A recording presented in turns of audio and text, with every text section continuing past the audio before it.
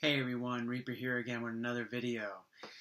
My New York Comic Con submissions, CGC submissions, have come back. I've had a few of them for the past couple of weeks, but today the last one came back, which was Eternals number one.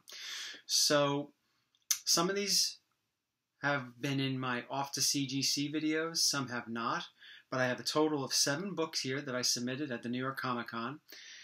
And now let's see what grades they came back. Now, in my off to CGC videos, I made predictions. And with two books here, in previous videos, I don't remember which ones, I sort of said what I thought the grade was. But anyway, let's take a look at the books. Let's see what grades we got back. And I'm going to do it in a similar fashion the way Patrick and Mike do it. I mean, I know what grade I got, but I'm still going to keep it hidden for everybody else. So, Let's start off with this one. Eternals number one. This was a book that I picked up back in 2018, like a day after after it was announced that Eternals was going to be in part of uh, part of the Marvel Cinematic Universe. So I paid next to nothing for the two books that I got, and one of them I had pressed last year, and I submitted it to the New York Con. I figured, what the hell? Let me get this thing submitted. So in previous videos, I believe I said I thought that this book, after the press, would probably be a 9.0.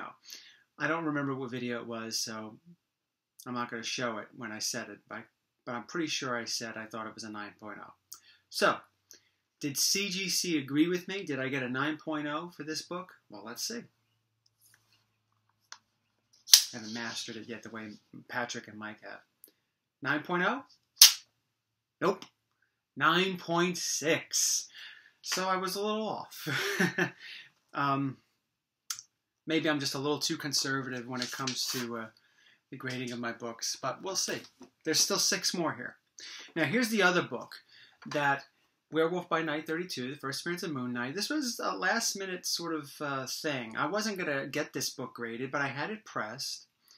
And I said to myself, you know what? What the hell? Let me get it graded. I'm going to the New York Con. Throw another book in the stack. Now, I believe in previous videos, whenever I showed this, I think at least two videos when I showed this book, I said before the press, it was a 4 5. Um, but like I said, right before the New York Comic Con, when they announced, um, I think they announced Moon Knight or whatever, I, I don't really remember the time frame.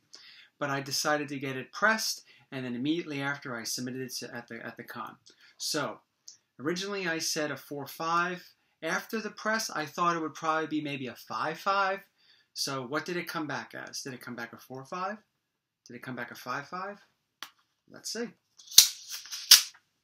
7 0. Very happy.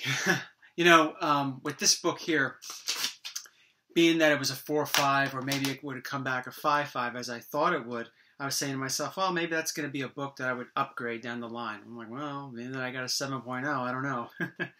okay. Now, here are the books that showed up in the Off the CGC videos. Um, most of them showed up in Off the CGC Part 1, and one of them showed off in uh, Off the CGC Part 2. I'll show the clips as, I, uh, as we take the guess. So anyway, we have Fantastic Four number 48. I believe I said what? This. I'm thinking that this book is going to come back a 6. I'm hoping it comes back a 6. I said I thought this would come back a 6.0, as you just saw. So did this come back a 6.0? Nope. I was off by half a half a point.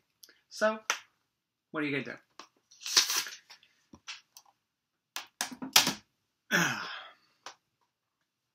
Now, the next one. Strange Tales. I know it's kind of awkward to see this paper just covering the title. That's the way it is with most of these.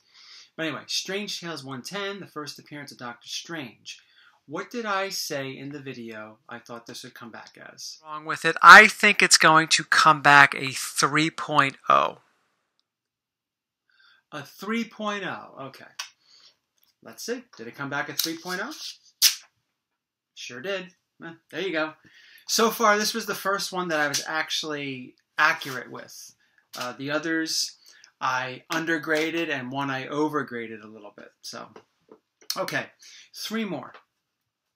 This one showed up, I believe, in off the CGC part two. I've been meaning to get this thing uh, graded for a long time. This is World's Finest Comics number three, the first appearance of the Scarecrow, uh, the famous Batman villain. So, in the video, I said what? I'm thinking it's going to come back a 2.5. 2.5. And I explained why I thought it was a 2.5. So let's see, did I get a 2.5? Did I get something lower? Did I get something higher? 3.5. Not bad, not bad. Especially for this book, you know, I mean, it's not a very common book, and it's not necessarily uh, cheap either. Okay, last two. Crime Suspense Stories, number 22, the infamous decapitation cover. What did I say I thought this book, or what was I hoping that this book would come back as? So, I'm thinking that this book is going to come back a 3.5. 3.5. Okay. So, did it come back a 3.5? Yep. 3.5. Sorry about the glare. 3.5. I'm very happy. Very happy with this. Um, it was pressed and cleaned as explained in the in the uh, off the CGC video, and uh, yeah, very happy with that one.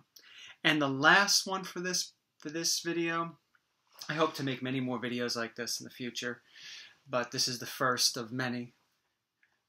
Last one, Amazing Spider-Man 129. For those that follow my channel, you know this was the first major book I spent a good amount of money on. You know, I spent 150 bucks on this in February 1994. So I had it pressed. I had this press actually the same time I had Eternals 1 pressed. And actually, I had it pressed well over a year ago, so I've been sitting on it for a while. So when the New York Comic Con came up, I said, okay, it's now time to get this thing graded. And I did. So in the video, I said I thought that this book was what? So I grade it right now at a 9.0.